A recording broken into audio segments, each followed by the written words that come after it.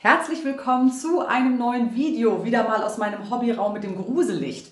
Dieses Video ist für mich was ganz Besonderes, denn heute darf ich mit euch und für euch ein neues Produkt testen. Deswegen an dieser Stelle, Achtung, bezahlte Werbung. Vielen, vielen Dank an Bose Living für die Kooperation und für die Zusendung des Produktes. Natürlich verlinke ich euch Bose Living in der Infobox. Denn die liebe Manu ist der Spezialist für Kreidefarben und sonstige Effekte und mein, mein Metallregal habt ihr gesehen, bestimmt das Video. Ähm, das ist auch von Bose Living. Also guckt mal nach, der Shop ist super und die liebe Manu hat einen ganz, ganz tollen Support und hilft euch immer weiter, wenn ihr eure Projekte zu Hause verwirklichen wollt. Also auf jeden Fall mal auf die Seite gucken. Und äh, wir testen heute Salt Wash, etwas ganz Neues. Was dieses kleine Döschen kann, was es damit auf sich hat, das erfahrt ihr natürlich im Laufe des Videos, also bleibt dran. Ähm, hinterlasst mir gerne ein Abo und einen Daumen hoch. Und vor allen Dingen hinterlasst mir doch mal in den Kommentaren, welche Farbkombis ihr am tollsten findet. Was es mit den Farbkombis auf sich hat, auch das erfahrt ihr natürlich später. Also stay tuned. Wir legen los und testen mal, was dieses Döschen so kann. Wir starten mit meinem Schränkchen. Zuerst müssen natürlich die ganzen Griffe runter und die Verschlussmechanismen. Das schraube ich erstmal alles raus. Die Schrauben sitzen alle ein bisschen fest, weil 60 Jahre nicht bewegt. Und anschließend lose Lackteile entfernen. Alles das, was schon abgeplatzt ist, muss erstmal weg. Um den ganzen Lack runterzukriegen, empfiehlt sich in dem Falle wirklich ein Heißluftföhn. Man würde sich an diesem Stück wirklich dumm und dämlich schleifen. Und die Lackschicht bei diesen alten Dingern, die ist wirklich dick gewesen. Deswegen der Heißluftföhn ist eine super Sache. Damit könnt ihr ganz leicht den Lack wirklich erhitzen und ähm, ja, einfach runterschaben. Natürlich filme ich das Ganze nicht komplett, sondern nur die Anfänge, damit ihr kurz gucken könnt, wie ich das gemacht habe. Und äh, den Rest, das Ergebnis, zeige ich euch natürlich, wenn alles fertig ist.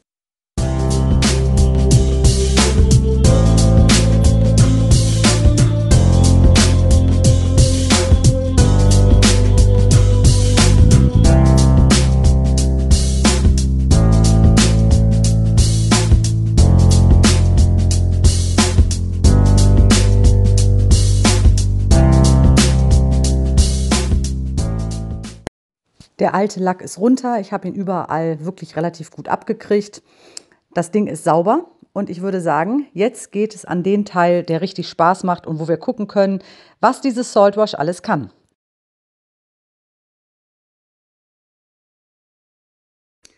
So, ich würde sagen, wir legen los mit unserem Saltwash. Ich mache euch jetzt hier mal im Close-Up auf die Pöttchen. Ich habe das Saltwash schon einmal so ein bisschen vorab geöffnet.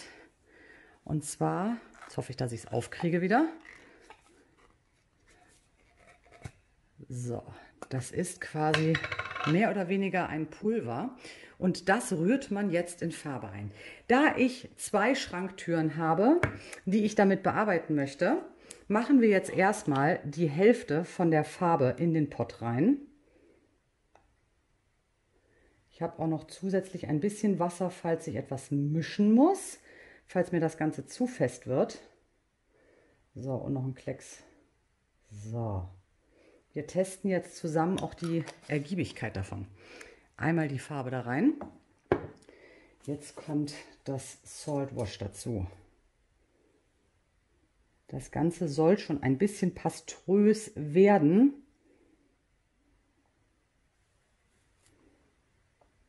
So, machen wir es erstmal so und gucken, was passiert. Ich hoffe, ihr könnt das so ordentlich sehen.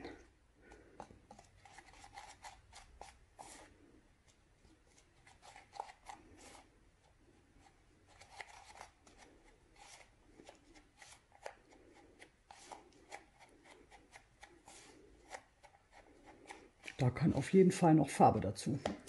Definitiv.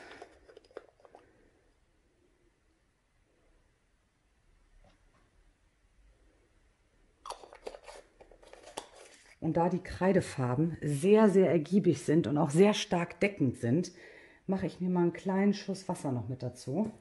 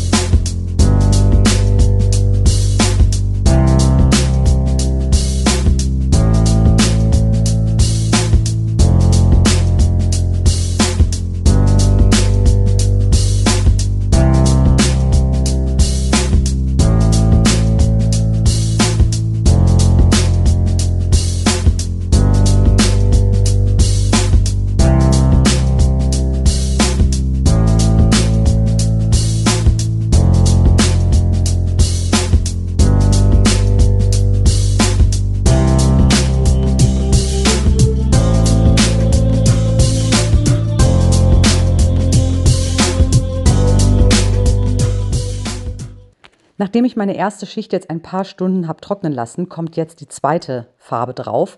In diesem Fall habe ich mich für Cottage Green entschieden. Ein wunder, wunderschöner Grünton, der mich sehr, sehr überrascht hat. Ich finde die Farbe traumhaft, wirklich super schön. Und die wird einfach jetzt mit dem Pinsel auf die andere Farbe, auf die getrocknete Schicht aufgetragen, so dass alle Lücken geschlossen sind, einfach ordentlich drauf.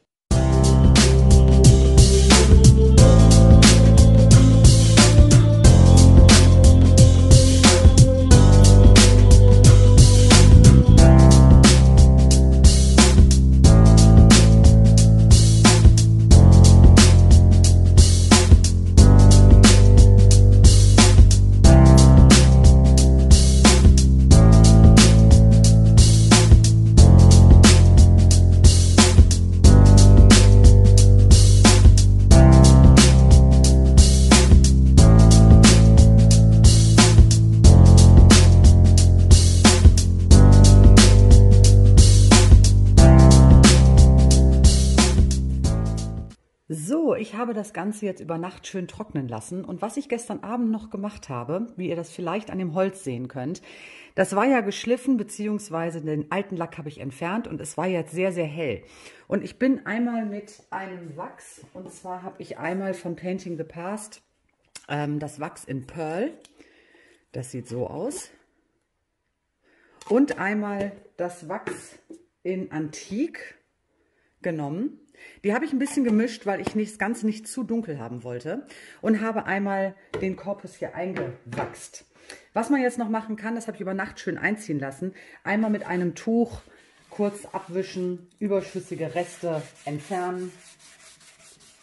Aber das ist schon so gut eingezogen. Ich glaube, da brauche ich nicht viel machen. Ich gehe einmal kurz hier über die Seiten, da wo ich nachher die Türen habe.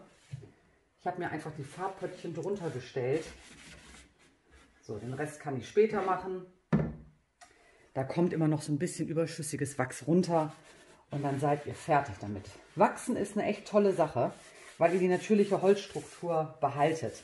Ich hatte erst überlegt, ob ich den Korpus vielleicht doch in weiß streichen soll, aber ich habe mich dagegen entschieden. Ich finde das schön an der Holzoptik. Und was ich gestern Abend auch noch gemacht habe, zu diesem kleinen Schränkchen gehören ja diese kleinen süßen Schubladen. Die habe ich jetzt einmal weiß gestrichen. Und zwar habe ich dafür einfach mein, ähm, mein Lack genommen in Historical White. Ich liebe diese Farbe. Damit habe ich auch schon äh, Schränke und alles Mögliche gestrichen. Die habe ich einfach vorne weiß gemacht, dass wenn man die nachher hier reinmacht, das ein bisschen netter aussieht als dieses alte Plastik. So, das zu meiner Vorbereitung. Jetzt gehen wir aber weiter an die Saltwash-Technik.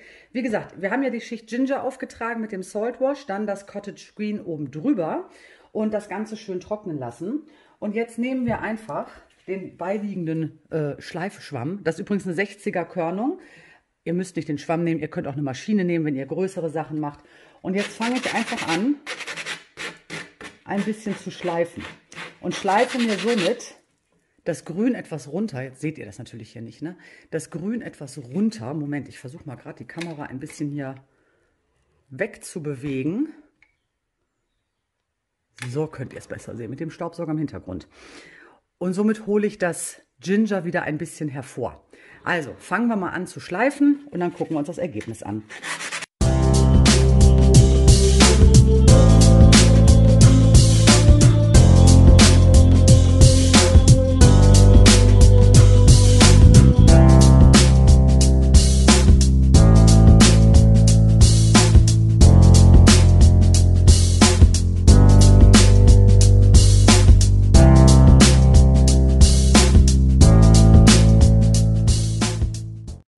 Hier könnt ihr das fertige Ergebnis sehen.